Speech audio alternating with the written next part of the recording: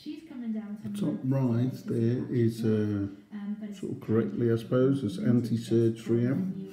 Whereas this next one, that's in the top left, says 17 amps continuous, and then when you roll it round, it says 35 amps. Lucas 35 amps.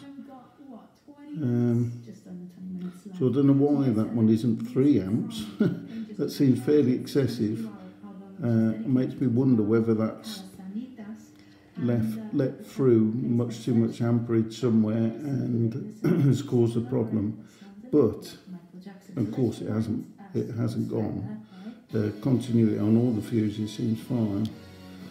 Um, and they're pretty old. I've ordered some new ones, so I'm going to put in the correct ones in the next few days and see uh, if it makes any difference.